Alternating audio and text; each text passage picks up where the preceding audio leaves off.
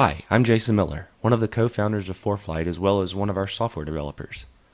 We've been making some changes recently to better utilize the GPS receiver built into the iPad 3G. Today I took a quick flight to test out some of our code changes and the iPad's GPS performance in general. I thought I'd create this video to show how it worked and give some bits of info on how it compares to aviation GPSs. I fly a Cirrus SR22, so it has a pair of Garmin 430 GPSs on board. In this flight, I brought along a GPS map 296, which is also made by Garmin, to act as a reference GPS. It's a WAAS capable GPS I could compare against. I did the flying today and brought along my dad to act as my official tester. We decided to fly up to 11,500 feet to test out the iPad at high altitudes or low air pressures, since Apple states a max operating altitude of 10,000 feet for the iPad. The code we tested for this flight is beta code. It may never make it to a released version of ForeFlight Mobile, but I felt it was still useful to see. This beta code includes some straightforward moving map data readouts. These are ground speed, track, GPS altitude, as well as GPS horizontal accuracy.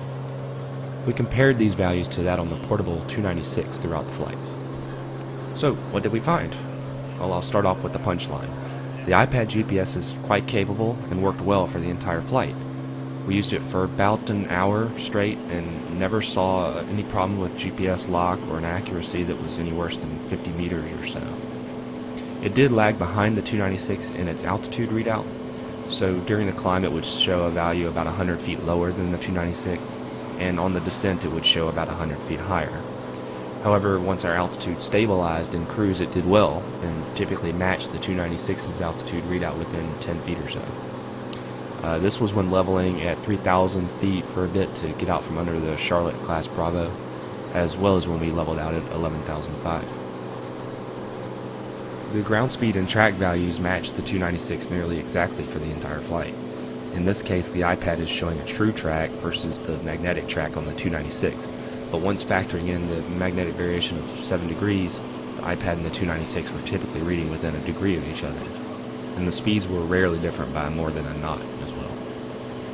In cruise flight, we did appear to see maybe a 2 to 4 second lag of the blue marker that uh, ForeFlight uses to show your position on the iPad map. It wasn't much, but we did think it was just a touch behind the panel mounted GPSs as well as the 296 portable. Positioning of the iPad didn't seem to matter much at all. For most of the flight, the iPad was in my dad's lap and the GPS signal was just fine. Holding it up under the windscreen didn't really make a noticeable difference. Of course, this is a low wing composite airplane, so if you're in a high wing metal plane, it might be more sensitive to placement in the cockpit.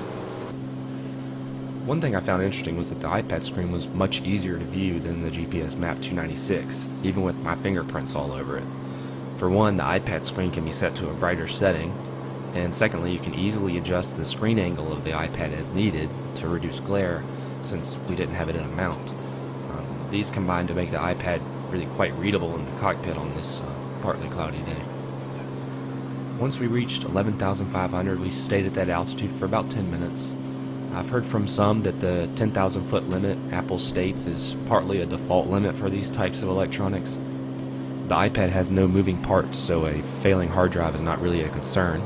Uh, one potential concern I've heard is that thermal issues could occur in the thin air, since it's harder for the iPad to dissipate heat. I can't really comment on that, but to say that during our time above 10,000 feet, we saw no issues at all. In fact, during most of the time, the iPad was sitting in direct sun. Again, your mileage may vary, and a longer flight's certainly needed to come to any you know, reasonable uh, answer to that question, but it's still a nice uh, thing to see no issues on this flight. In conclusion, I was quite happy with the iPad's GPS performance.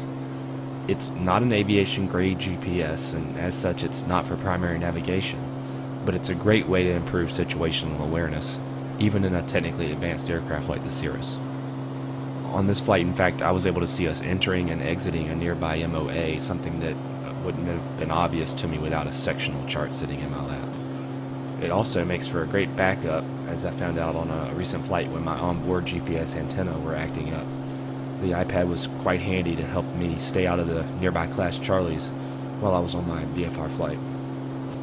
Well, I hope this video has offered some helpful info. We'd really love to hear your experience with ForeFlight on the iPad or the iPhone As always, please email us at team at or find us on uh, Twitter and Facebook.